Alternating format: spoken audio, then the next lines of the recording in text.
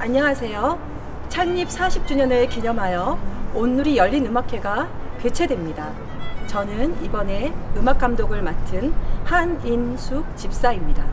이번 음악회는 전문 성악가와 전문 타악기 앙상블 팀 그리고 오카리나 앙상블, 여성, 남성, 중전단 팀이 다양하고 귀에 익은 음악들로 즐거움을 선사할 예정인데요.